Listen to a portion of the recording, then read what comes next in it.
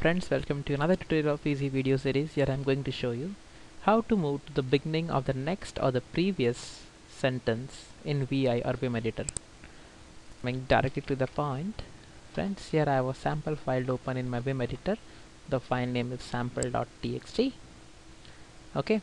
Uh, now, for example, if I want to move to the beginning of the next sentence, uh, let me bring my cursor to the starting okay see if you see this line ends here. Okay? Now if I want to move from here directly to the beginning of the next sentence that implies it is here. Okay I have to use the brackets. Okay? So forward bracket is the next sentence. Previous bracket is the previous sentence.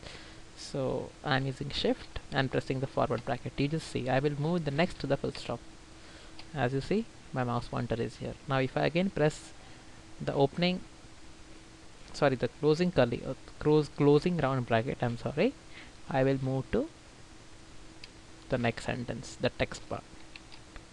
When I press the closing round bracket I will now move to the speakers. S. Okay? In this manner.